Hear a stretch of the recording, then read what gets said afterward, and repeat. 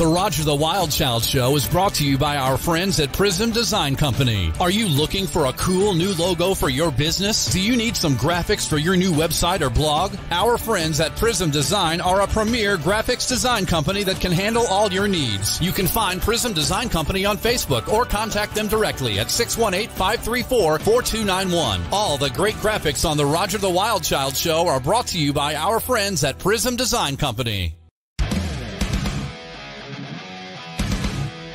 And now, the hottest new celebrity interview show in the universe. It's the Roger the Wild Child Show. Let's get this party started!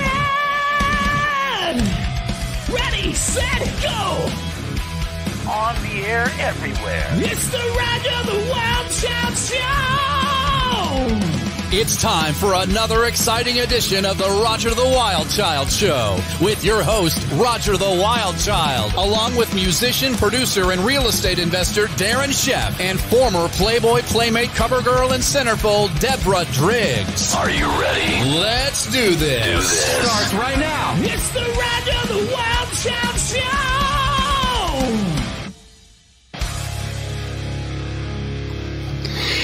Hey, hey, it's Wednesday night, everyone. How's everybody doing today? It is Roger the Wild Child back at my home studio here in Boise, Idaho. To the left of me, of course, is none other than the great Darren Sheff. What's going? He's Who is that guy? Who is Who that is guy? he? Who is he? I've been busy. Oh my gosh. And like it's like nope, Darren's not doing the show this way today. Nope, nope, not this not I've this been episode. busy. That was Oh, my favorite line from 48 Hours, man. When that, yeah, that's an old movie, but I love it, man. That's that guy, you know, where, you, where you been? I've been busy. and then we also have Deborah Drake. Wait, wait a second. You're not Deborah. Mm-mm. Oh, hang on, I gotta check my Nope. notes here. What, what? Oh, I'm sorry. Producer Bo Bo just informed me we have a guest co-host because Deborah is on her way What to. a freaking douchebag. That was a yeah, she's going to. Mexico. You know what? Insert random female and you're ready to roll. So, hi. Hi, Imogen. She is a fitness model and social media influencer. That's right, man. And a cool chick, man. We hit it off in the green room, man. Everybody was on point. That was awesome. So, how you doing, Imogen? Oh, pretty awesome. I'm still tripping out on Darren's hair. It's that George Lucas look. I just can't get over it. Love it. You know? Thank you. Yeah. This is a this is a bad hair day too. You should see it when I'm really got my shit together here, man. It is. But anyway, I'll take it. Yeah. You should I'll you should take see how he when he rolls out of bed what he looks. He sends me selfies or whatever all the time, and I'm like, ugh. Yeah, I kind of just sit there and pose and look and go, hmm. Now, when you say selfies, do you mean pants optional selfies? Is this what we're talking about? Or is this like, you know, Yeah, actual I, I don't really care either way. You know, I mean, you know, when you're my size, the soccer moms fucking line up for you, man. I'm telling you, I just go outside, I just pull my shit off. They just all they can look at is my hair and they go, That's fucking incredible. They don't give a shit about anything else. As long as you can- got hair and can make chicks laugh, they're cool. I'm telling you. That's the key. Don Schwartz, that's my brother. Teresa Sabin, welcome to the chat room. Yeah. Monica is Monica. here. How you doing, San Monica? Diego. San Diego. Jason Banger, Cookie. Oh, hey. Oh, Hey, Jason. Oh, yeah. Uh, she's got fans in the room. Yes, she does. So, Imogen, tell us a little bit about yourself. Let us let our audience know what kind of a social media influencer you are. Uh, well, according to my ex, I'm a waste of flesh. Uh, Aren't we all, according to our exes? I know they have the best input and they're the best suited to give guidance on life. Uh, Right. right. I know. It's like, hey, check the locks from outside and tell me if they work, you piece of shit. Go ahead. Yeah. Anyway. Yeah, I know what you mean. um, yeah. What what do what's uh, social media influencer? What does that mean? What do- what's my representation there? Um, Exactly.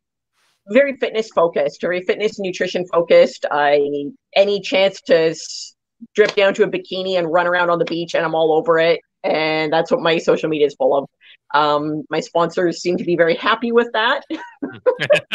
Mine too. Clothing brands, Right. jewelry. Yep. well, Darren strips down to his bikini and runs around his. Oh, yeah. um, I his fucking feed make. Rod Stewart look like an asshole in that freaking thing. I'm telling, I'm telling you, I got that guy's number, man. When I get out on the beach next to Rod Stewart and my freaking thong, oh, that dude, he doesn't have shit on me. I'm telling you right now. He and my, and I even think my lid's even like very competitive with Rod Stewart's. Very competitive, I'd say. Hmm. Oh, Anyway. Rod Stewart had some crazy hair. It was awesome. it was cool.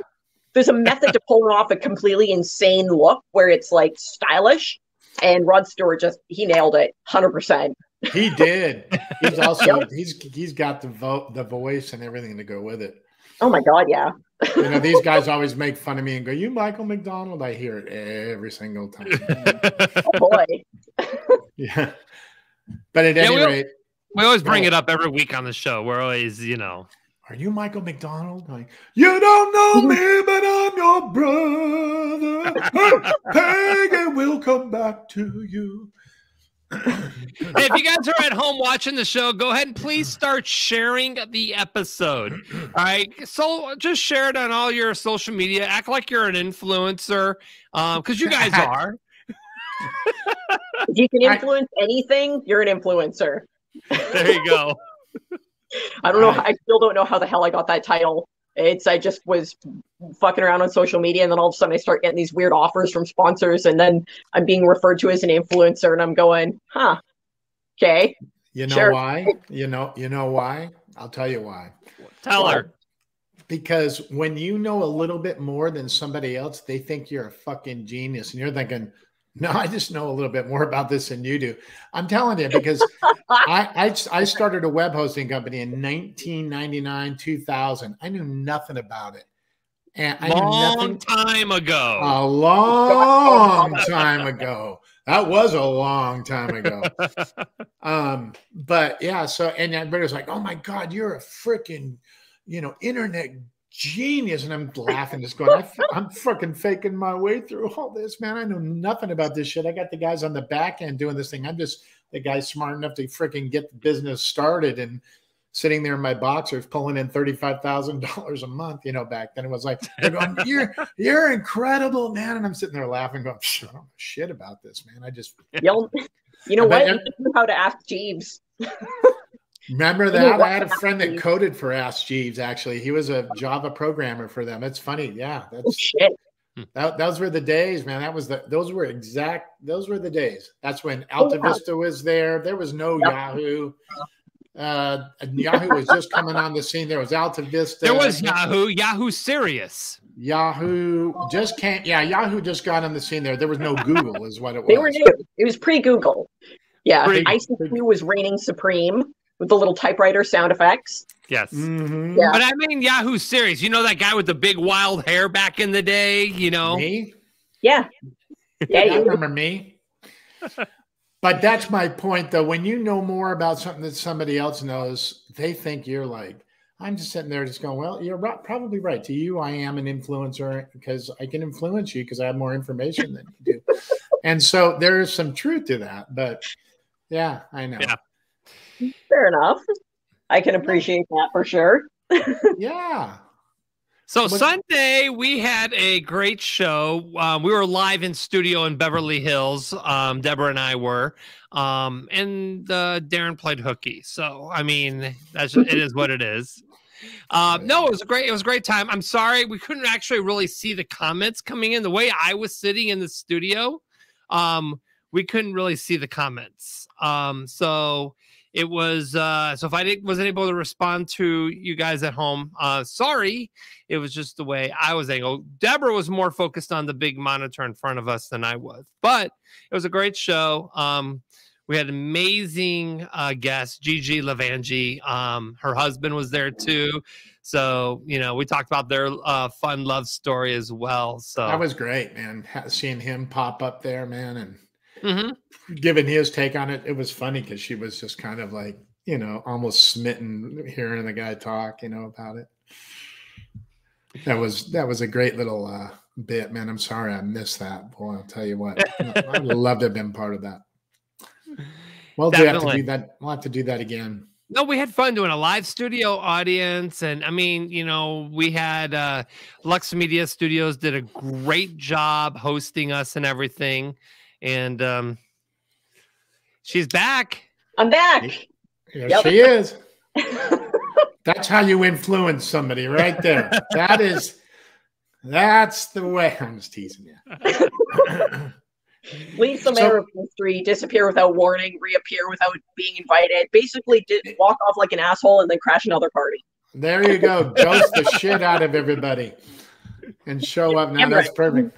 I love That's, it it. sounds like, like all my ex girlfriends. I mean, come on. All, all two of Now, them. now is that what they said in the Just restraining two. order? What'd Was you that the restraining order that you just that you do that? Just to pop up? say? oh, guys, we got a great show today. We have an amazing guest. Um, Jasmin St. Claire is going to be joining us here in a moment. Mhm. Uh huh. Awesome. He's uh, Darren's got all the videos, you know, archived and everything, and he's been watching them for the last uh 24 hours trying to get Oh. caught up. Oh, okay. Yeah, that's right. Okay.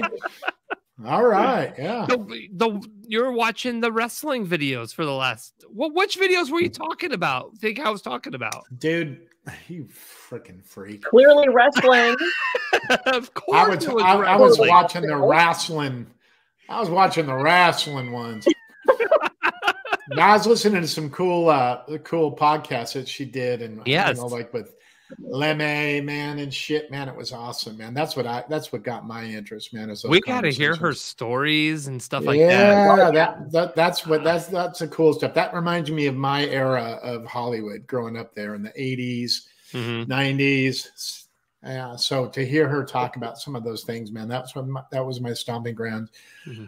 Lived it, and uh, there was so much that was relatable to that on a lot of levels, a lot of personal levels too. Yeah, um, not just you know being there in Hollywood, but being around all these people and, and right and blending in and trying to figure out who takes you seriously as a human being versus the celebrity or you know trying to find the blend of the mix and blah blah Yeah. blah blah blah but anyway i loved listening to that that that podcast it was incredible Yeah, it's called Crazy Train. We're going to talk to her about that um, here. So let's let's just bring her on. I mean, yeah let's I do mean, it we're just talking about her, and we don't even have her on the screen right now. come on in here she is Ah, there's Jasmine. Hi. Jasmine. Jasmin St. Claire, welcome to the Roger the Wild Child show. yeah Thank you for having me. Are you in Coeur d'Alene, Idaho, by any chance? I'm in Boise, Idaho. Okay, I love Coeur Coeur d'Alene is way north. Yes. That's awesome. I love it there. And your hair is like magnificent. I, I swear, Darren, you are just you're like you're really hot for someone with um uh, that's 60 years old with, with the lid you're 60. I thought you were like 50. Oh my god. I swear, Oh like my I God. keep 28 year old guys out of bed all the time, but oh my god, you are like Oh. epic.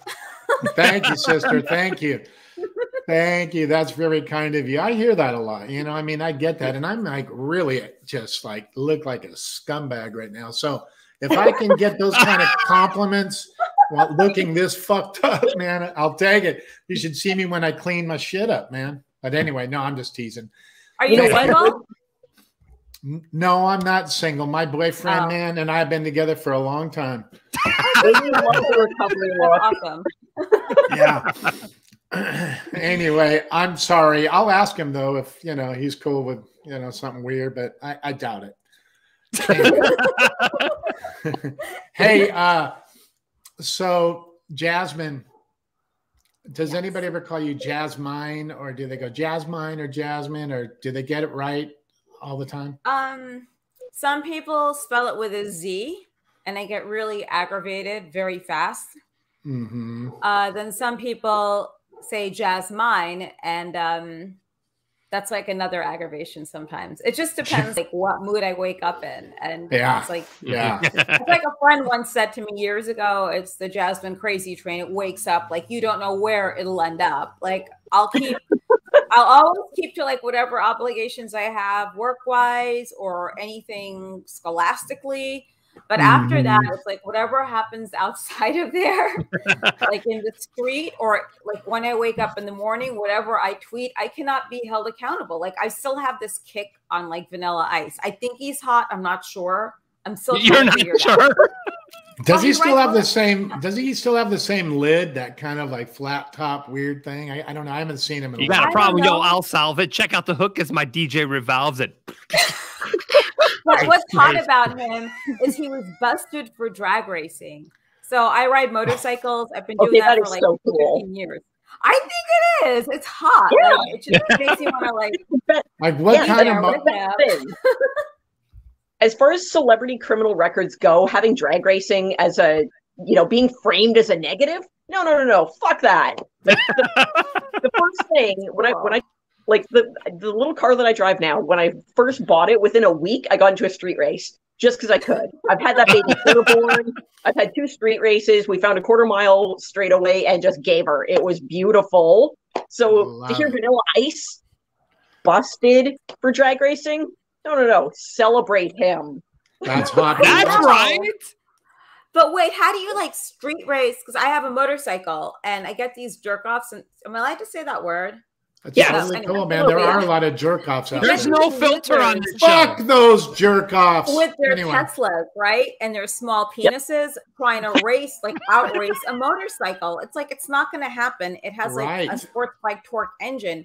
But how do you Yeah. organize like a street race when you're in a car? Like, how do you do you say, hey, let's go? Do you like what do you do? I'm just curious. yeah, you're right. It's Well- some fucking meathead just like, "Dee, okay. Well, they so, look hey, at her, they're like, oh yeah. So what do I they love tell you? Do they say, hey, let's street race? Like, what do they do? right, they just go, sometimes, "You ready? sometimes there's You uh, some very not exactly fully legal clubs that where it's people Oh. who have similar interests. They're like, all right, you know what? Sunrise will be at such and such a place. Um, other times it's like with me, I, I happen to see someone familiar. I, I was at a red light. I saw a familiar face. We had a big straightaway, and when I'm like, I know you, and I know what you're into. So we gave the signal, and once the light changed, we were off. It was so good. I I love, love it. it. So do you just go up to the street lights and just kind of like look at the person next to you and you like nod your head and they're like, okay. And you're like, "Huh?" yep. boom. Like Yeah, Grease they or some yell. shit, man. right, you know? exactly. Grease. Yeah. Lightning. You just That kind of is looked over. awesome. I'm gonna Looked start like it- doing that with Teslas. I, I Oh my god, doing that. Yeah, I love no, the worst Tesla ever did just yeah, I just knocked out someone's window once. Like I had marbles and ju- it just I keep it in a little thing, like in a sock in my pocket. And like when they try to cut you off, you're supposed to kick the window in with your boot, or like if you have heavy rings. But I don't have heavy rings. A lot of my friends do, but they're guys. And then you just take the marbles and bash their window in. Like I don't know if it's really legal, but I think it's like a form of self defense. Hey, that's a great idea. And you know what? You know you still have that ring with the two red ruby eyes, right? Oh, from the from the stripper. Yeah. What? Oh, I tried to. look up. So I married the stripper at my bachelorette party, and I'm trying to find him on Facebook. Like I want to see what Did you he looks find like. him? Haunts or some shit, wasn't his name? Hans Haunts? Westphal, but he has no profile photo. Oh no. Of course Oh, you found him, but he. How old do you think the guy is now? Is it really his uh, profile though? It could have been somebody just claiming to be him. It's a Jasmine? common name, like John Smith. Yeah. Right. For yeah, Jane Das Smith. Gut. Das Gut. Hey, Das uh, Gut, sehr gut. uh, Das Gut. Hey, so Jasmine, are you are you Brazilian? Is that what it is? My mother is Brazilian. My father is Dutch. Uh, I lived in Brazil for five years. Oh, so no wonder you Four have a little bit of that Dutch thing, you know, Das Gut. But they call of- you a Latina, right? Um, that's one of many words like people use to describe me. Mhm. Uh, I guess they say that. Yeah. Um, I You would follow- go you so f- far. Huh? You follow Portuguese. Eu falo português, sim. Oh wow, follow Oh. Portuguese. Yeah, that's the Você Brazilian.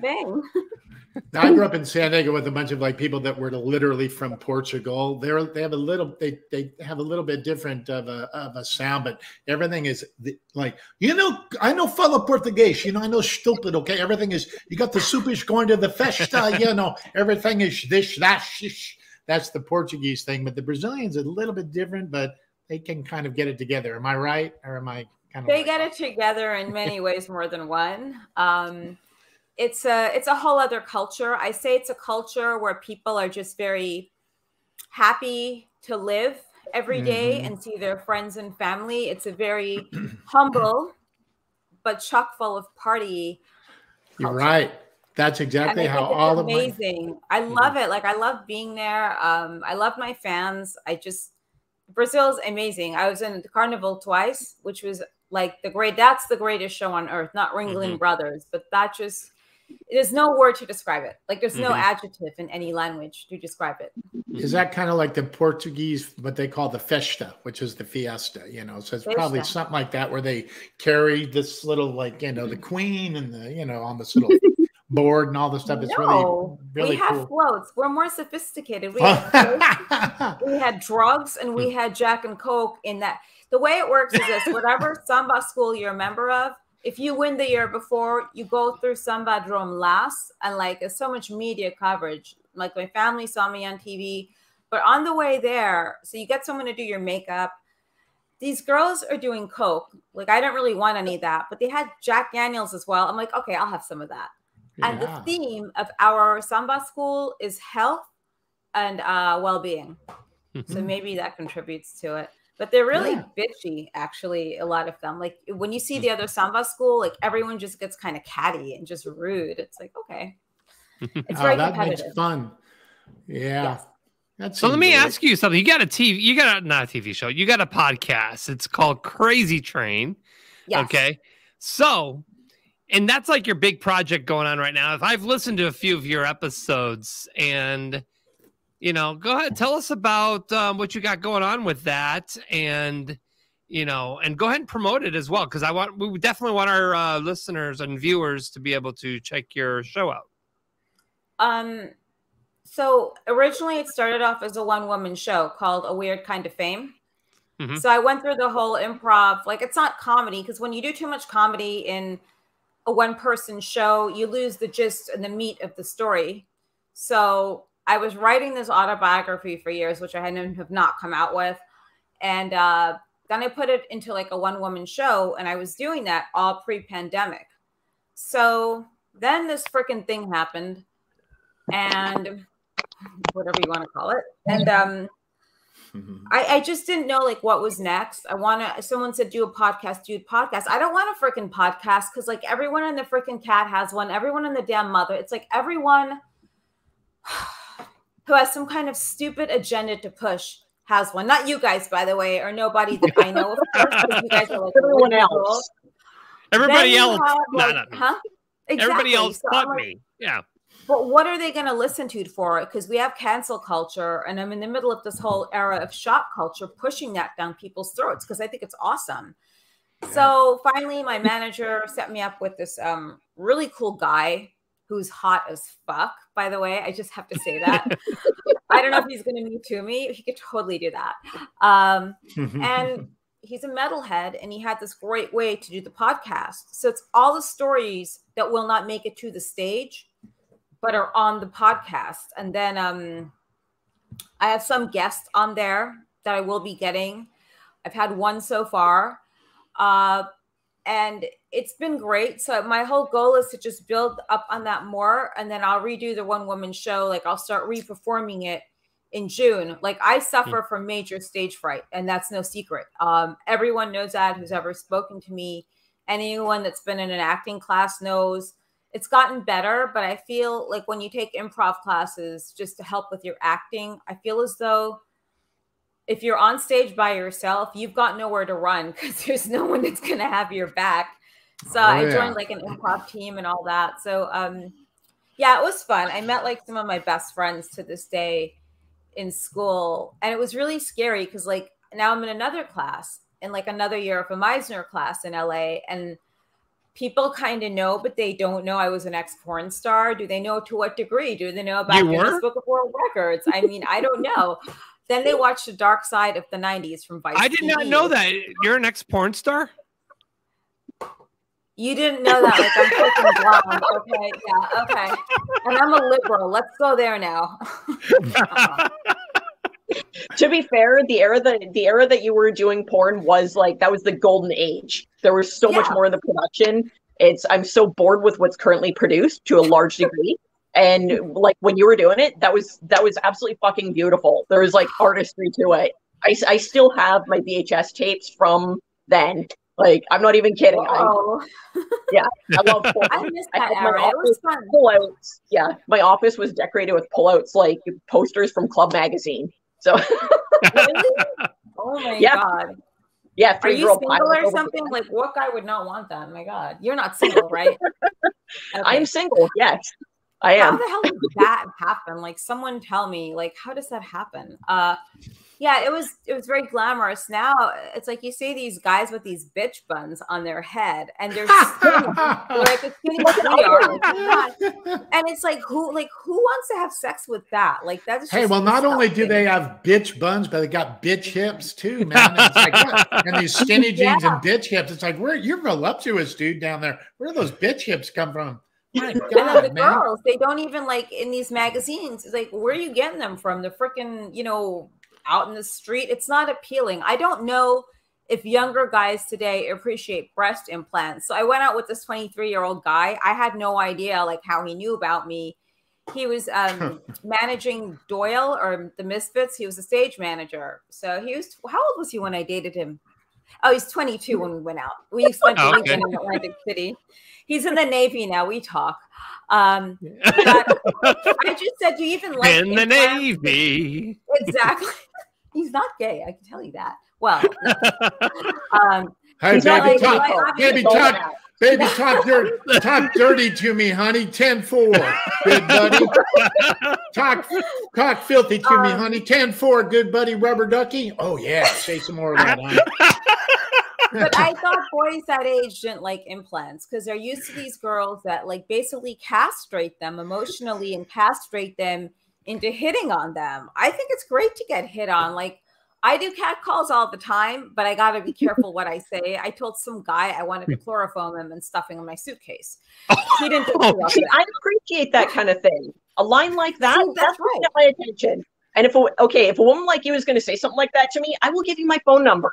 Like, So I, I want more than your phone number, baby. I mean, I and I love uh, everything about that. See, this is what I mean. Like, guys should be happy to have women like us around, like these young guys. We could teach them a thing or two. And, you know, I've gotten into arguments with girls like half my age just for saying something stupid. It's like, you need to shut the fuck up. Like, when I grow up, you say shit like that, I'll break your Guys glass say stupid shit all the time. No, yeah, but girls. she talk, gir- The young girls, she's girls. talking about young Girls girls. dumb shit too. There's there no one is exempt from saying something dumb. Yeah. Um, You haven't one the- fucking lived long enough, dummy. Get the fuck off my yard. Yeah. You know what though? You know what? When I was, you know, when I was a teenager, we'd be lucky if we were walking through an alley and found a Playboy, man. You know, we were like, oh, Oh. so stoked, you know, and that that was like totally cool for us. But now, I, I mean, honestly, I hear all kinds of shit, man. You know, like from people that are into the new world of pornography out there, and it's like, there's like. Well, I, it's so different, I suppose. I mean, you know, I, there's like midget this, and this one dresses up like Barney, and this is fucking what's. her- I'm thinking, what the? f- I guess there's something for everybody. And I'm sitting there going, yeah. I mean, I don't know. They're going, yeah. All these weird things are. I'm going, well, okay, you know. But I mean, honestly, I mean, I just sound like an old guy because it's like, really, that exists out there. But I guess that's like next to nothing. I mean, I'm sure it's like even way darker than that. But I guess it, it should I say even say dark? It's like whatever your fancy is, I suppose. But like, you know, what am I gonna do? You know, hey, dress up as Dora the Explorer, and I'm gonna fucking be, you know, hmm. Barney or some shit, and we're gonna do something. I mean, it's Or out there. baby Jesus and like masturbate with a cross or something. Like, who would ever do that? Yeah, right. Well, that's what it's exactly right. I know one person who did that, like who's in this room. It was awesome. But um yeah, I mean, I just I like controversy to some degree, but like I don't know. I just think it's one of those natural things that just comes with being around there. Like I didn't realize what I was a part of. So I was out with someone one night and this woman keeps giving me these dirty looks. So I walked over to her table and I drank her drink. I put it back down. I'm like, how can I help you? I saw that thing on Ghost TV, and oh, that's disgusting. You have no shame. It's okay. Okay, so you're watching me on Trash. It was. It was. Uh, the episode was called Trash Talk TV, and that's totally Jerry what Springer was. Huh? Was that was that okay? Was that when you were on Jerry Springer? Yeah, yeah, yeah. Yeah, I mean, that that was was that was beautiful. Oh, thank you. I loved it. I mean, it was fun arguing with helmet-haired skanks who had no life, but to be on national TV, it shows you what a beautiful country America is. It lets Yes, losers on TV during the daytime. See what I mean? You get it. And uh, yeah, the woman said she saw me on the show. Um, then I brushed up against her husband's chair on purpose. So I said, Yeah, I'm glad you liked it. I said, The next time, don't stare at people. I and love I it. took her drink and like walked off with it. I hope That's so. I great. didn't get COVID or anything. Well, she, no, actually, she just got that drink. Yeah, I didn't get COVID or anything like that. But That's still great. That's a great story. She's sitting there going, "Oh my God, she might have had some guy's penis in her mouth. I can't drink out of this." actually, actually, I did right before I went out to dinner with him. Of course, I did. Come on. That's great, man. Like, Here you go, honey. Have your drink back. Have a little Um, yeah, taste of here's your this. drink. I put a and that little one. same lady, that same girl, doesn't want to admit that she just had the busboy's dick in her mouth like ten minutes before. She's like, "I'm to look down on so she could feel a conflict for, for blowing a busboy. right, her husband's like, "Well, she's taking a long time in the bathroom. Where's my wife?" Yeah, he's got his little bitch one going. It's all good. no problem. But yeah, it's just a different world, like with social media and like the beauty of existing in like various fields of entertainment 25 years ago, way before the internet, is that's what it was. Like there's no documentation to this or that. There's no documentation to backstage at a wrestling show with Mhm. everything. It's just all hearsay.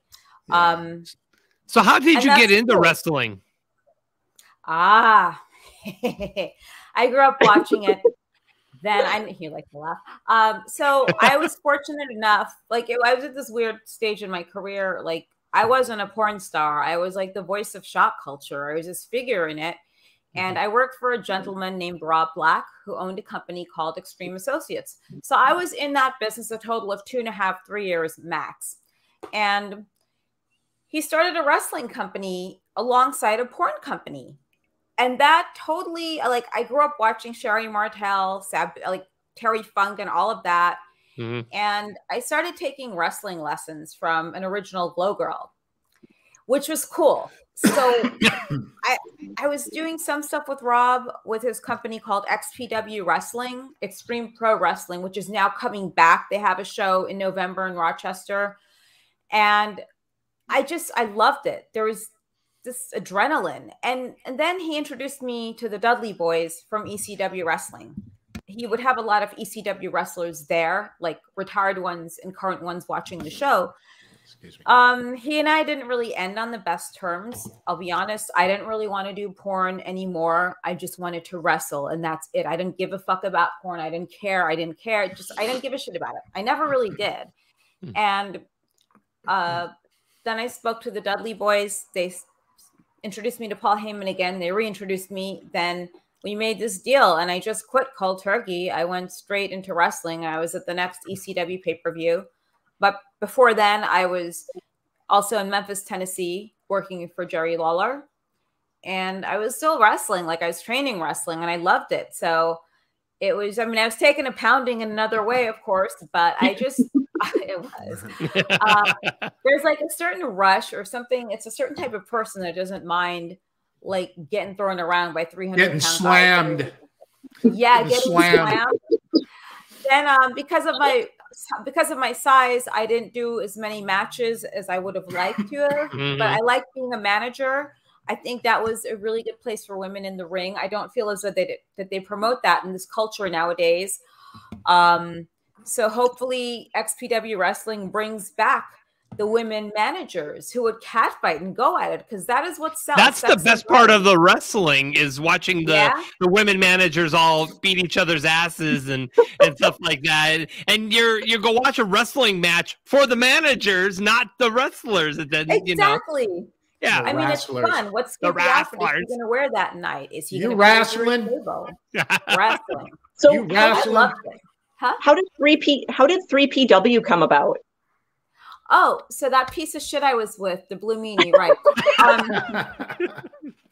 I just, you know, well, there's like there are two sides to that. So he came up with the name. That's true. But it was my idea to start something because no one wanted to hire his loser ass anywhere. And I was still working for other federations like XWF, Jimmy Hart's one. And Okay. um he came up with the idea. And like I just got sick of his shit. Like he hit me pretty bad one day, like for reals in real life, and I had like stitches down the side of my forehead. oh wow.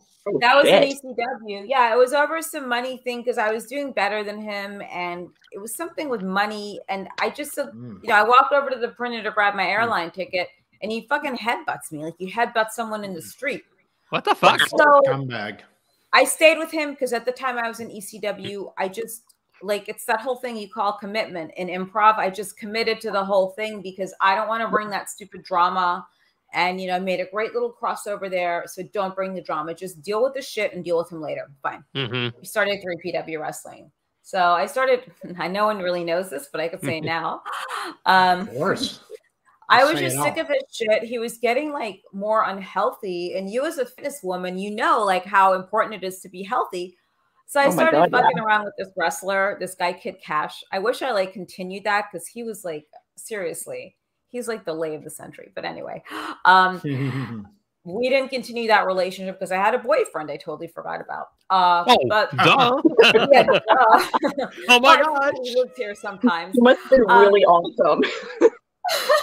well, I forgot. No, I was just sick of him, and I just I don't like people that aren't motivated. Like that's one thing is Yeah. I always have to be with someone that's motivated and driven, not a workaholic, but just someone that wants to be driven and doesn't pull this pity card every day because it's to the point where you just want to slice your wrist up in every single way possible. Mhm. and um yeah so that's like 3pw came to an end when i just got sick of the greed the egos and i just didn't show up to one of the shows and contrary to popular belief i didn't take off with anyone's money because it wasn't really anyone's money anyway it Mhm. was um it was money that was there so they had to go get the money for that show some other way i was just sick of using my contacts to help them um yeah. and then it went under after that. But I would never start another federation. I would work with them again. I would work for XPW Wrestling in the drop of a hat once again because Rob Black, I feel, is a creative genius. And outside of adult films, I feel as though he's been given like the second chance to do something magnificent. And I know he's going to succeed. I think he's going to do really well. Very Awesome. cool. Hey, we have. him to. Oh, go ahead. What- Sorry. One of the super cool things about 3PW is that you're cited as being the first female owner of a wrestling federation. I mean, Yeah. Stephanie McMahon, she inherited it. So, I mean, she's an important figure, but she was born into that, whereas you started something. That is super cool. Way cool. Blushing. I'm like, I never blushed. Gosh. Um, yeah, it's It just is. I would say like I've always been industrious as a kid growing up.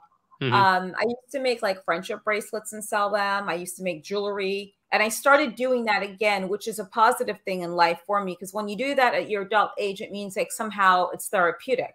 Like no Yeah. shrink is gonna, I don't want to go to a shrink because it'll make me too rational. And then I lose my I just lose myself that way. So Mhm. I um I do I, I make jewelry, a lot of it. Then I buy vintage jewelry. I do yard sales sometimes, like big antique markets. I have an Etsy store. Um and I really like it. So I just like anything. That's your industrial. therapy. That's There some you go. therapy, right? You could be my therapist, all of you. All right. No, but I just mean like the the jury, making the jury, as they say here in Nashville. The jury. You're making some jury, but you know, Where are you in Idaho? Are all of you in Idaho? I'm in Na- I'm in Nashville. and you? I'm in Victoria, BC, Canada. Oh, I love Canada. And you're in Idaho. That's where I'm where in Mark Idaho. Fuhrman lives. Yeah, Mark Fuhrman lives in Coeur d'Alene. Yeah. So there's a bunch of questions up here. Yes. People are asking some questions. Do you guys mind if we uh, jump into some of these questions? Roger, you want to? Uh, Okay, so uh Shoeshine Boy boxing, um, kind of related to uh, wrestling, but he uh we got Dave from the 408. Um his question for you is can Jasmine tell us if her career took a turn for the better after her Howard Stern interview? Um, a hundred percent, I'd say. Uh, I mean, honestly, I don't know because I never saw myself as anyone with any type of like star anything or celebrity. To be honest with you, I just saw myself as the same girl that grew up listening to the Howard Stern show, and I, I sent in my album. It was Wheels of Steel by Cream to get upgraded. So I feel as though it went well. Uh, I don't know what our relationship was. I just knew it was a good one. Um, I wish I was still on his show because I really liked him as a person. yeah. Yeah. Well, wait till you see what happens to your ratings after being on here with Darren Chef. You're Oh, gonna I see. can't wait. I'm telling you right now, you. you ain't seen shit, man. Howard hasn't seen it. Nobody has. They're gonna. Yeah. I'm Everybody's in. Afraid. Uh, We're, we're gonna You forward should- this episode to Howard after we're done, so he's going to uh, review it. Yeah. so what else? Are we, he thinks what, I'm like what- a right wing nut job. I actually have a caller on the phone here. Let's uh, talk from- to the caller. Uh, yeah, from the 408. Wait a second. Would this possibly be Dave from the 408? It is. Hey, Roger. Hey, hey! Jasmine, how you doing? Big fan from the old days. Hi. um, What's up, so are you in San Jose? Like, where are you from? That you're 408? Is that is that San Jose, California? He just hung right, up he's on done. Okay. Yeah, he ghosted your ass. He ghosted show. your ass. He ghosted you. No, I was kidding. God, his dick's gonna fall off. I want I want Mike Lindell to call into the show. I want the Mr. Pillow guy. I want to talk to him like so bad. Yeah, I just me like too. crazy people. Me too, Mike. cross. We Well, got I'm the. actually friends with uh, speech impediment man from the Howard Stern show. He's one of the whack packers. Oh, those were. Do you remember? was- do you those remember were- speech? Oh yeah, man. Yeah, he would I ask do. all those. Yeah, that was Okay, some yeah. great moments. Yes. I don't know. I'm still a fan of Beetlejuice. Oh. I fucking love that Weird. guy. Beetlejuice. Beetlejuice. Yeah. Beetlejuice? Oh my Oh my god, that guy's the He's best. crazy. I love, I love him. that guy. Oh yeah. I ran into him at a bachelor party like years later um, that my friend was Oh. having. I was there actually just as a guest. My friend's bachelor party. We went to school together, and I saw Beetlejuice like going around. I'm like, wait a second, how did you get him? I had nothing to do with that. yeah, it was a wild bachelor party. There was like a dog. There were these skanks, and then there's Beetlejuice, and there were strippers. I'm like, what the? It was like that was crazy. It was New York City. It sounds like a New York party. I like New York parties. You just don't know where they end up. You- Once you go out, like one thing with me is when you go out, like you cannot have a real plan. We could start Mhm. somewhere and maybe a few things are planned, but if Oh, you yeah. just like plan to shit out way too far in advance, it just doesn't get interesting. Oh no, you're already bored of it before you leave the house. If the plans are too structured, no, no, no, no, no. Once you bring in a, a midget and a drag queen, you're you got the whole. Now you're ready to roll, and it's gonna get weird. Just saying. I love that shit. I love. That sounds like a I good I love one. anything crazy. Um, yeah, I'll totally take questions from your fans. You know, I'll be honest, like you seemed really cool at first when we were chatting. I just wasn't sure till I saw everyone by face. And I have to say, like, obviously you're pleasing on the eyes and your hair is just amazing. My God. Oh, my hair? No, not you. Yeah, you. Uh, your glasses are cute. Oh, thanks. Are you I talking like about him? glasses. They're cute sometimes. Like Oh some yeah, guys, the, like, Yeah. Oh, Those are cool too. Like guys with glasses are hot. This guy I totally want to hook up with. He's from Holland and we know each other because I go to Europe all the time. But like we knew each other when I lived in Norway. I seriously want to have sex with this guy.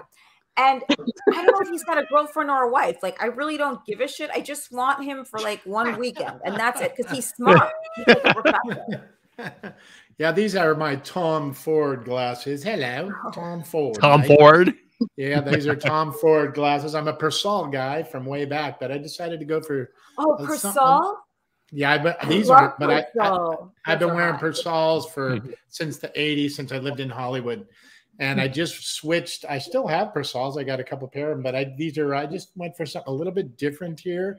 But I love Persols. I just you know they're the only glasses that are still made by hand. It takes over a week to make one pair of Persols in, in Italy. They still make them by hand, one at a time, and it takes a week to make those. And that's why they're classics. That's why they're the quality they are, and they're like I I mean I, I love these Tom Fords, but yeah, I love my Persols. Gotta Those are classy. Like my ex has them, and they look super hot on him. And he had like transitionals.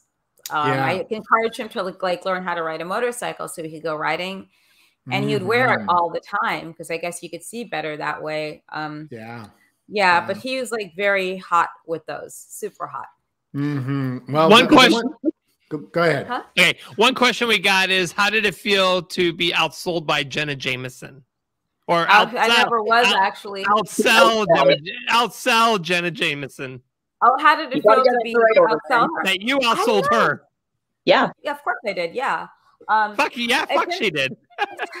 stupid bitch. Oh So- fuck yes, she did.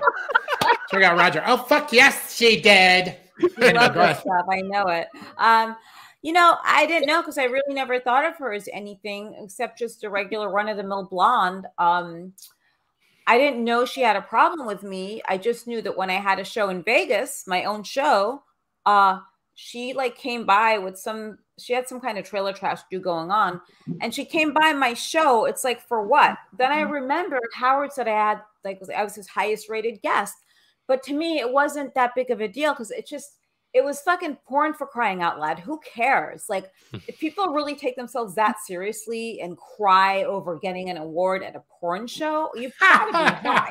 There's like a much bigger life out there. I hate to tell you. I just That's so true.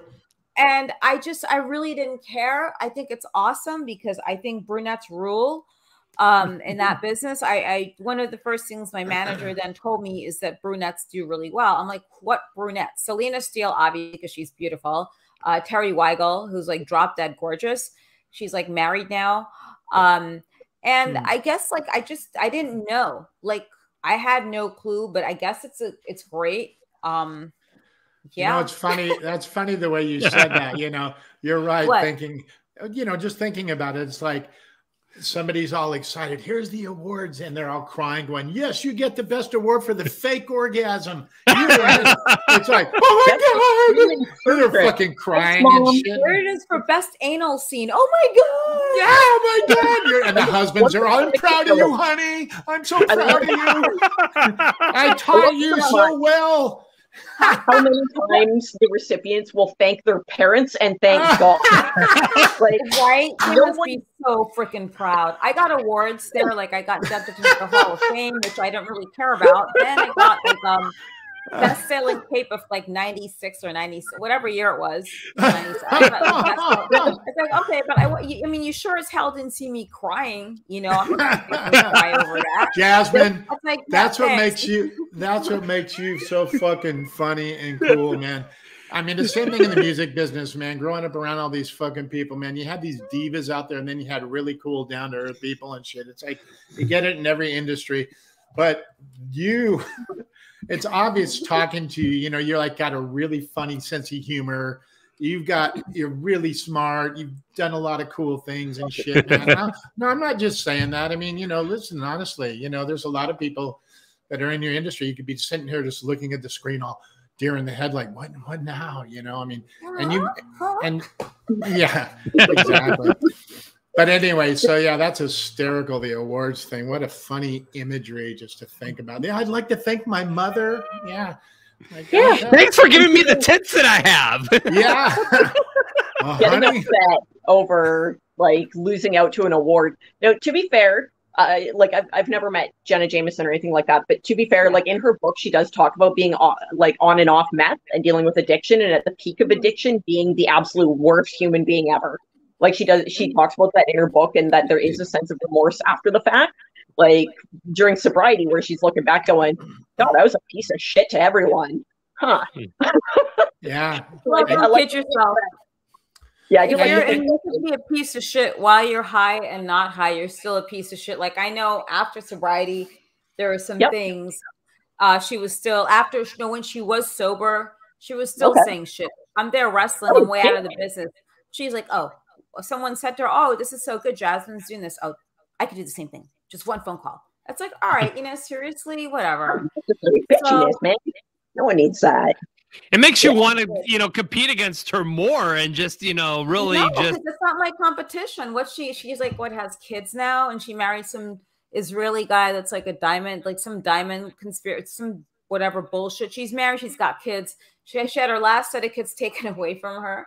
Um, Oh my god. but her now her current daughter, okay, good for her. That's nice. So I'm not a mom. I don't want to be a mom. Never did. Uh, I've always been very much um, a free spirit. Like I was riding a motorcycle as a teenager illegally. I still do. Well, up- until about a few years ago, I got my license up. So yeah, uh, you know, I just do my thing, and I love to entertain. I can't wait to get back on the road with the one woman show and go nationally with it. Um, I Mhm. want to go to other countries with it. I speak French, I speak Spanish, Portuguese, Norwegian, and German. So that's one thing I can do that other people cannot do. And like the whole birth of the one woman show and for it happening, I have like Second City to thank for that all the way Mm. because the director for the show was from there. Um, if I didn't have like my friends there helping me along the way, I don't think it ever would have come up. It's the only thing I like. I don't know anything else really, and I'm not going to get hired anywhere exactly to work doing anything. So, and that's totally fine. Um, I'm happy with my branding, which I could Nice. honestly say now. I love that you were illegally riding a motorcycle. That's that, that just seems to be so much more the way to do it. It just seems more fitting. well, I didn't know you needed a Just saying. license. 'cause There's some dipshits out there who have a bike license that are doing Yeah. stupid things like going Yeah. between. The only reason you lane split is when all the cars are stopped. Don't go doing that shit when they're moving cars. Mm, And they give normal, they give people like myself that are defensive, dri- defensive riders a really bad rap. I mean, I do lane split, but when everything's just stopped. And if there's a cop in front of me, I'll go right behind them so I could look at their ass. there is something awesome about a uniform and and just having like a holster and yeah. Anyhow, Oh, boy. yeah. Ooh, should've seen calm the you cop down. You better look at her there. taking a drink there after that one. Shoot. Right? Yeah, of course. No, the cop that was uh he was near the he was at a restaurant that I eat at. They had some kind of an incident there because Santa Monica is like it's a lot of homeless people and crazies and idiots who keep voting like these leaders in in this area. So something happened and then um the cop that showed up he was really hot. He had his aviator shades on and everything. I'm like checking him out. So the female cop she's like look he used to be a calvin klein underwear model. I'm like hell yeah. So i'm just hoping i run into him one day in the street. Yeah i was checking his ass out you sound really dirty Thinking dirty things. Is that what you said? back in when I was working security, I used to kind of make a game out of seeing if I could get a cop to like give me his phone number, give me their phone number. So like nice or see if there was an unnecessary exchange of information. That was it was kind of like yeah, I, I kind of like seeing if I how doable that was. Surprisingly Oh, right. You know, when there's a challenge, man, it makes you really want to go after it. When you think that there's something to I go know. after, you know, like one of the things. This this uh, I'm going to bring it up, but what I did in Yes. Hollywood for a lot of years is I was a hairdresser, makeup artist in the film industry, Oh, and yeah, you know, I did a lot of the early MTV videos and things like that. And so that was my career. I was the only straight guy in the industry. So what was funny was, you know, all my gay friends were always they were trying their darndest to get to me. You know, this is when I was in my prime. You know, just twenty, you know, twenties to thirties. So, but but my thing was is I was always trying to get the lesbian chick. I was trying I was trying to get, get her to, you know, the ones that I worked with, you know. So while the gay guys were working on me, I was like working on the lesbian chick that I thought, oh God, I'm gonna be able to get this. I'm gonna crack this one. But I never could, man. It was just and just like they couldn't with me, you know, but it was hysterical. It was like this, okay, you know, I'm gonna try this here. It's more of a Yeah. challenge for you, right? It was it was Yeah, a now we got challenge. I came really close, man. The one took me home to her place, and then she was like, "Oh my god, my girlfriend could come home any minute." And I'm like, I was, like, close, and I was like, "Ah, shit." Anyway, but uh, I thought that was a home wrap. story you, you guys needed to know that story. Yes, we You can did. still try. You can still try it. I'm I trying was- to like still have sex with this cop I met last year who like came to my rescue. And I, I have his phone number. We've gone out in a couple dates, but I just want to fuck him. Really, that's Well, all. wait a minute. When you say came to my rescue, Get to the point. when you say came to my rescue, Oh. I meant Okay. Um, so I live right by the riots in Santa Monica, and Okay. uh, a couple days later, um, I was outside in the street. I was dressed. I had my one of my dresses on, and some guy who didn't live in the neighborhood grabbed my breast. So I'm there trying to pull my handgun. I'm like, maybe I shouldn't do that because I'm not supposed to really have this. I forgot that part of it. No. Yeah. So I pulled my knife on him and I, I slashed him pretty good. Then he goes running off. There was a guy sitting in his car who was there repairing like the Gap store, working on it. And he saw the whole thing. He called the cops. Mm. Then the cops came. Then the guy gets out of the car. I'm like, oh, hi. I'm just so traumatized. I took a photo of the guy and then I gave it to him. That's how I had his phone number. Then we were talking. Um, he lives in Ventura County, but there's one problem. He's got kids. So that's just I don't Oh, go out with guys with kids. Yeah. The reason I was asking him that is because I have a friend here in Nashville, and she was also in the adult industry for a, quite a while, and she had a stalker that frickin' was like from out of state, and this went on for ten fucking years for this poor girl. And uh, I just saw her recently, and she was like introducing me to her new boyfriend, and he's a cop, and I'm like. I asked her, I said, is that fucking weirdo from up in Massachusetts still like fucking like doing weird shit? She goes, yeah. I go, man, some of these motherfuckers, man, they're talking like 10 years just and just crazy shit showing up here and there. I mean, really scary for her. She got out of the industry a while, a long time ago, but even out of it, the guy still is fucking weird and shit anyway, it was just like so. When I heard you say that about the cop, I'm like, well, she. It was funny because she goes, "Yeah, here's my new boyfriend," and I'm like, "Oh, nice to meet you," you know, and and then she says, "He's a cop." I go, "Good, you need him, man. You know, this fucking Yeah. lunatic out there. You never know." That's really weird because I had a guy waving a handgun outside of my hotel room, and yet the cops wouldn't do anything. Hmm. Then he's at New Jersey at MonsterCon doing some shit. Oh, we can't do anything. I finally had a restraining order against him, but I felt like it should have been reciprocated wherever I went. Right, that's me- exactly right. Exactly. So my friend was murdered by her ex-boyfriend. Uh, she was engaged to Drew Carey briefly. They broke up, and he threw her from three stories high in her house. Oh, it was in the God. news. Now she had Oh, a wow. restraining order against him prior to that. So what I'm trying to wrap my head around to this day is why is it that when we were at the Hollywood Sheriff Station two weeks before she was murdered, I was with her and then she's telling the cops about this. Oh well, you know, your restraining order expired.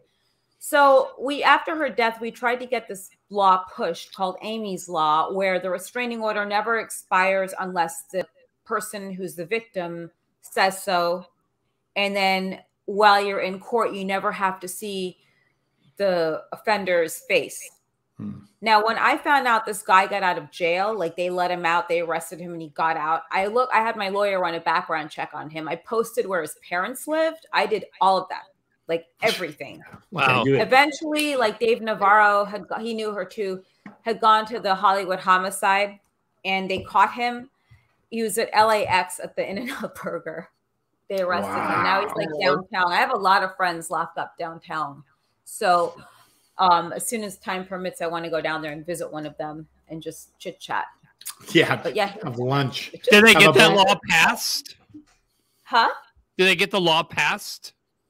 No, it was a No. Gavin. It's a. We tried to get Gavin Newsom's wife involved because one of the girls knew her, and I guess he didn't think it was important enough. Yeah, of course not. Yeah. Was there any was there any change to the judicial system e- even moving in that direction? Um, no, because right now everyone's so concerned with COVID, and then uh, inmates getting released in the street, and that's what's made it super unsafe here. Um, Yeah. In fact, a woman had an restraining order against a guy who was in jail, who's now roaming the streets free. So this is a Hmm. totally individual, different, different person. And Yeah. um, I just don't. I'm trying to see like where we're going with this. So my cop friend told me as long as he doesn't have his body cam on and um you know you take matters into your own hands that's fine Hmm. Yeah. Perfect. and you know people get really sensitive about guns out here and i don't think there's a reason to be sensitive about it you should be afraid of who has it and what their mental capacity is so i exactly. believe Yeah. people have the right to bear arms as long as you know um you know and it- people have very questionable. They, they question my sanity when i say that it shouldn't be a question of my sanity or political views or anything. It should just be it's what's right right now because no one is protecting us in the streets. You can't you could arrest them but they're going to get out Yep. Right. Yeah, you know the the jails are all, all overcrowded and everything, and even the streets. It's, you know, just the homeless population. When I was in LA for the weekend, um, I mean, I'm going down Hollywood Boulevard, and there's like tents up and down the street. I heard about it, but I didn't realize how bad it was. What going that just driving through on the main street? There's all these tents lined up and just sitting there, and it's just yeah But then you And drive can't out of the. Huh? then you drive out of the valley going up into Ventura um, up in that area and next thing you know it's just beautiful because it's not LA County or city anymore you know and it just you just cross the line from like Woodland Hills just getting up into you know like Agoura next thing you know you're like in the next county and it's like a whole nother world you don't see all that stuff that's what's so weird you know Mhm. Santa Barbara is the same way you know just going north Mhm. Getting out of the valley it's just like pristine and beautiful. So if they if if they got it together up there with all that money these guys down here man there's just too much shenanigans and bullshit going on man. Oh And, you know, yeah. it just For it and it and it sucks because you know me coming from Hollywood and being away for 16 years and going back and seeing it it was heartbreaking. But at the same time you know I know a lot of it is just you know um, part of the political climate out there and uh, Yeah. it, and it's so sad to, to really think that because when I was a kid growing up there in the 80s and a kid like you know in my 20s you see some homeless person sleeping on a bench on Ventura Boulevard here and there Mhm. and they were older and you just knew that they had some mental issues man there, there's like there's like 20 30 year olds living you know in a like they make them look like freaking condos almost underneath these places. Yeah. they got like Yeah, five exactly, rooms and shit with you know the ones like bringing her you know combing her wig out in the front and shit and you know putting the clothes out there. It's like they got like rooms. Like this is a whole like bedroom suite over here and they got shit even though they're homeless it's just it's just weird. It's not like what i grew up with like the down and out really let's try and help this person man just go give them some money some food these i, I believe a lot of these people just i hate to say it i think a lot of them want to just be there they don't they're they not don't nostalgic. care they, don't, care, They don't care. And here's the Um, thing is in Santa Monica, and I'm sorry because I just like now I'm just thinking about it. I ran my friend's campaign for city council here. And I just feel as though Republicans need to get involved on a local level to clean up the streets. Now, people get scared when they hear that. They think you're for the death penalty, which isn't true. Yeah People voted for Gascon. He's the DA now. People didn't do their research. He screwed up San Francisco, which is one of my favorite cities to visit. And he's the reason why a lot of stuff is the way it is and his no cash bail thing. So there was a man that hit and ran a woman and her child about a month ago in Playa Vista.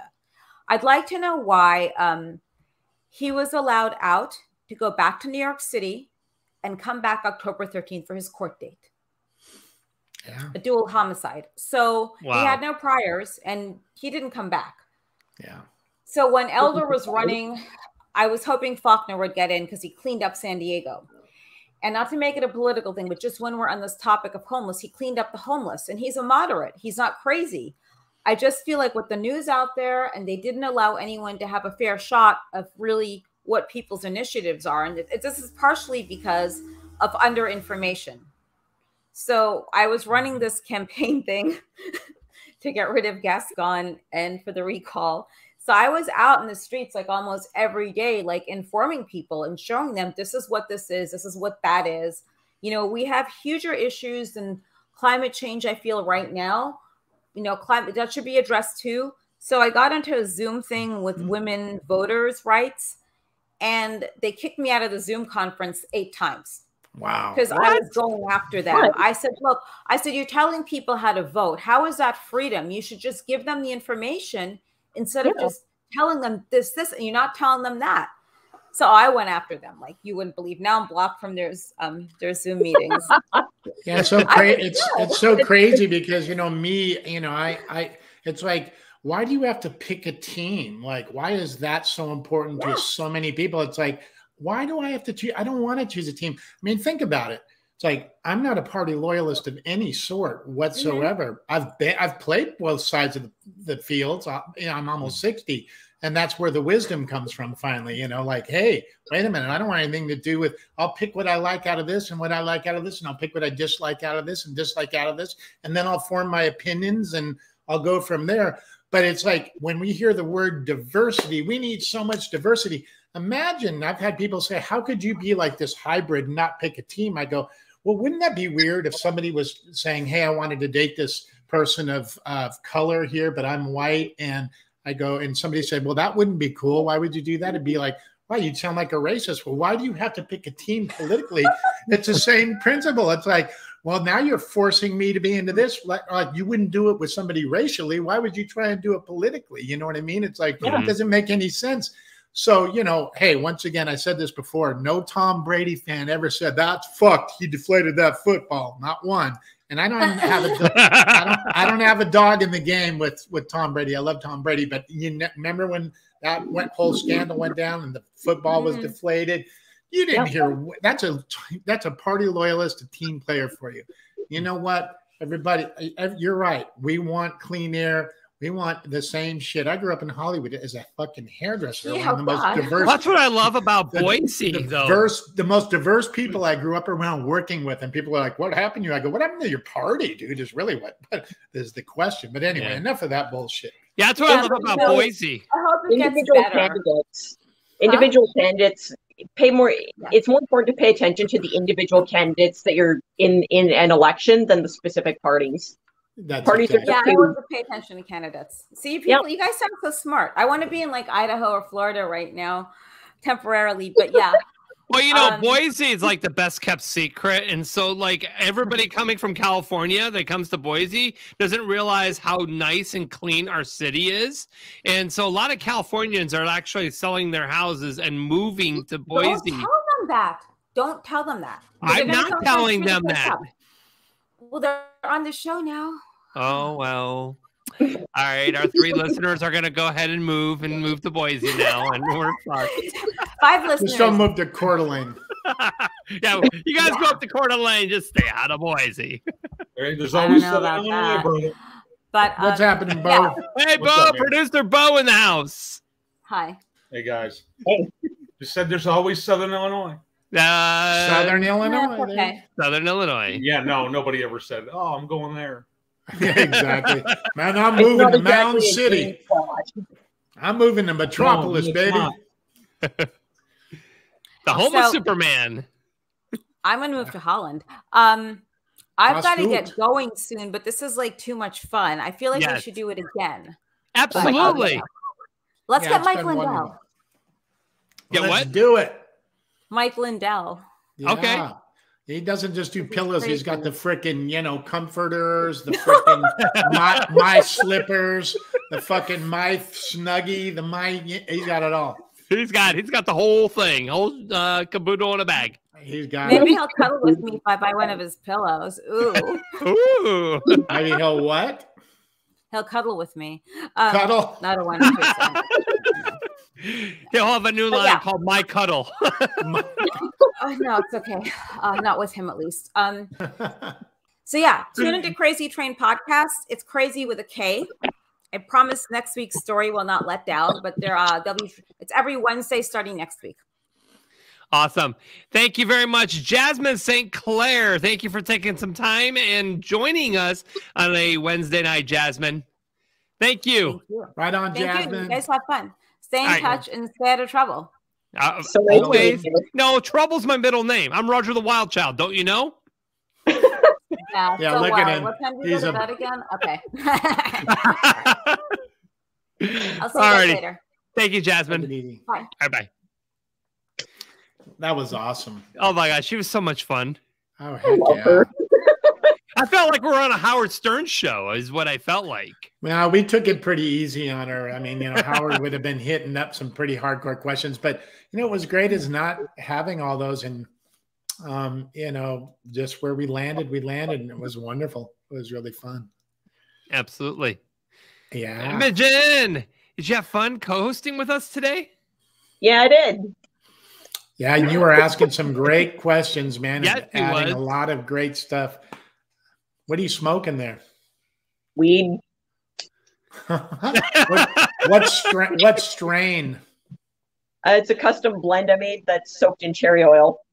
Wow, Oh, nice. she's hardcore, man. Yeah, she Yeah, is. no. It's What like is it? three different indicas and then just marinated in cherry oil. Yeah. So the cherry oil just like for flavor. That too. That too. Um, I assume you are not overly familiar with that substance. No, if I smoke, I trip like I'm on LSD. I swear to God, I do not get all mellow.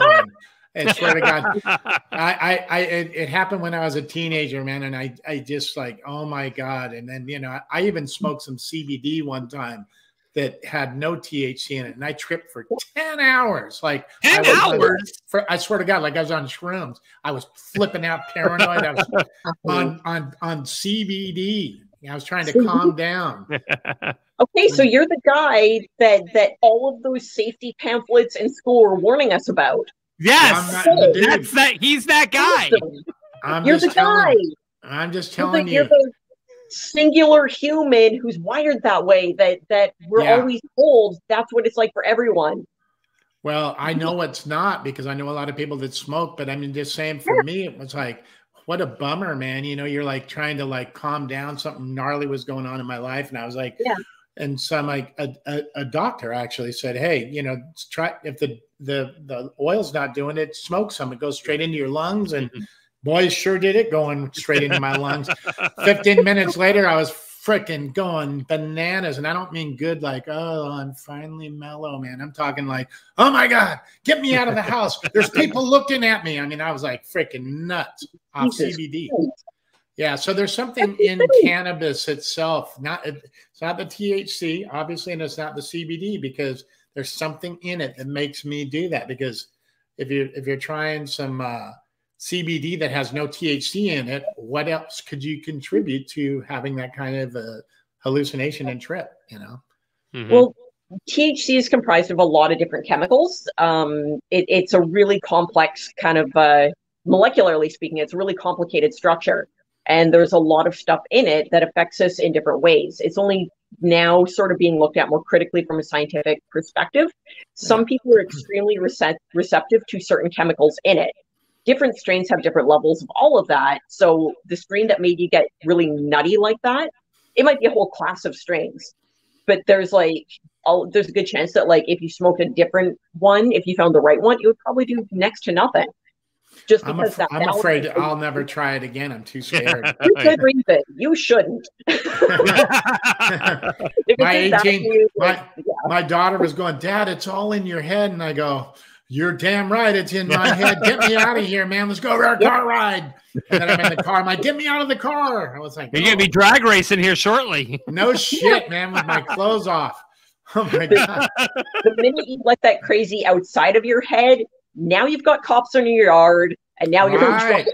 i'm telling you man i was trying to pick up fucking sticks and shit out there for two minutes pretending like i was doing something and then i'm like oh my god my neighbors are looking at me It All was awful. guys, real quick. Uh, he was at a hockey game earlier, so we bumped him to the end of the show.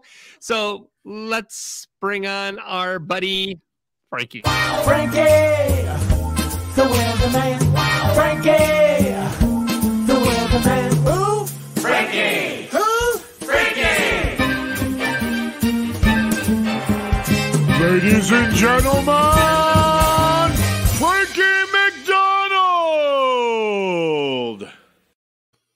Oh, Frankie, how's it going, buddy? I'm doing, great so far. And the weather is in City, Nova Scotia is on and off rain right now in my area right now. It, it's been a lots of rain in Vancouver, British Columbia, and Victoria, British Columbia. It's going to be bring more rain in Victoria, British Columbia, St. Louis, Missouri, and all those places are warm right now. And up in Northern Ontario, it's warm. Even Nunavut, Kugluktuk, Nunavut's getting warmer. Over in Europe, it's been lots of rain in the UK, Australia, and all these places in New Zealand. They had a large hail in southeastern Australia, including places like South Africa. It's warming up in South Africa. Same in Argentina, Brazil is getting warmer there because their summer starts on December 21st. And for Cargill, New Zealand, their longest day of the year is on December 21st, 2021. That means that it's July and August, that's a really boring time for extreme meteorologist Reed Timmer. He's really busy during spring and winter, during in tornado season. Reed Timmer, he's an extreme meteorologist from AccuWeather. He's really busy himself. He's And up around- busy. Hey Frankie, where's the where's the warmest part of the world right now?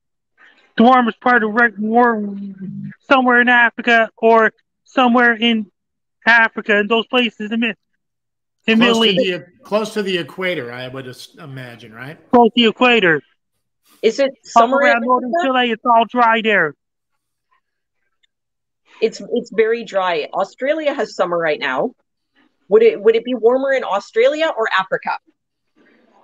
Uh, it's it's warmer in northern Australia. It's it's colder in southern Australia during southern hemisphere winter. Invercargill, New Zealand gets really cold weather in July. When I get hot weather, they get cold weather. Yeah, they do. That means Imogen, you're on Joey show every Thursday night. Joey only show. Joey only. He's a comedian, meteorological guy. Yes, sir. Frankie and I do the meteorological report with Joey only once a week. Oh, you guys go way back then. Yes, huh? they do. That's how I met uh, Imogen. Okay. And that's I got because pulled into a before I chat went on with the, the three of them. before I went on the show, I was on another radio show called Ham Radio all the way in New York City before I, I showed up on your show. Well, we're Yeah. blessed. Good Thank you. So how was the hockey Yeah. game tonight? You uh, couldn't do the weather in the beginning, so you had hockey. I hockey was at the hockey on. game first, second, third periods. It was great. What Do they teams have were you- playing? Cape Breton Eagles facing against Charlottetown Islanders. Hey, Frankie, do they ever get you to sing "Oh Canada"? Do they ever get you to sing that? That means I when a Cape Breton one two one Canadian team plays against another Canadian team, they had the same Canadian national anthem. What happens if American team plays against Canadian teams like the Ontario Hockey League and the Western Hockey League? They sing American national anthem, then a Canadian national anthem. If American teams in Canada, if a Canadian teams in the States, they sing a Canadian national anthem, then American national anthem. anthem if a Canadian team is in the States. That's awesome. Have you ever sung the national anthem for the Canadian one? You ever done it? I've seen people sing oh, our national anthem. Have you ever tried to sing it yourself? Oh, Canada, how Roman native land. Dur, dur, dur, dur. Dum, dum, dur, dur, songs coming. Oh, Canada. And then end it with the tornado siren for us. Go for it. Let's do a tornado siren.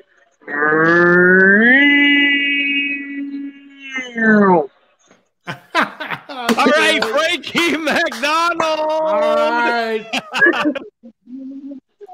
Right Thank on, you, Frankie. Frankie. And the best Thank you, of luck. to you. Frankie. I'm Frankie Down. You're listening to Roger Wildchild's show. Imogen, I'll see you on Joey Only Show on Thursday night. And Roger and the guys, I'll see you guys on Sunday. Sounds We'll good, see you. Thanks, Frankie. See you, Frank. Frankie,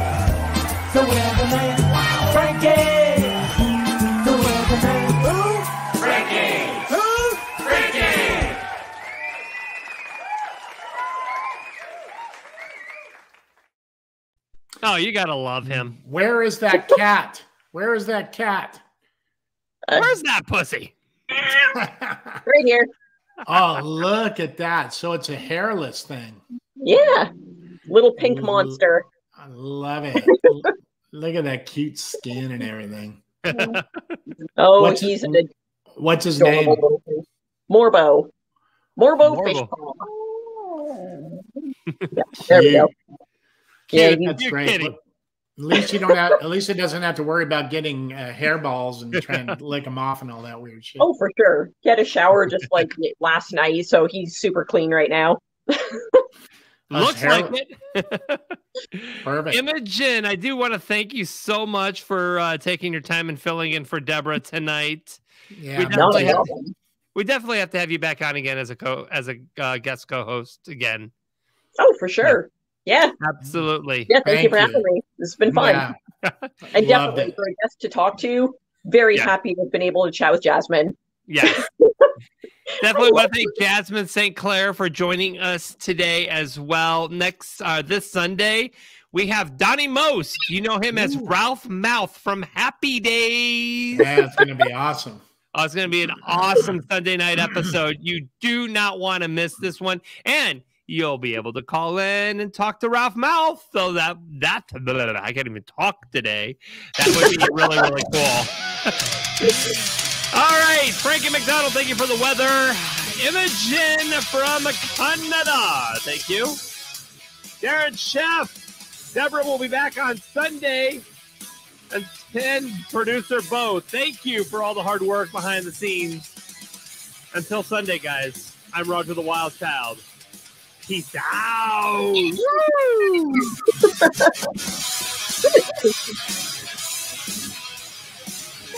the Wild Show.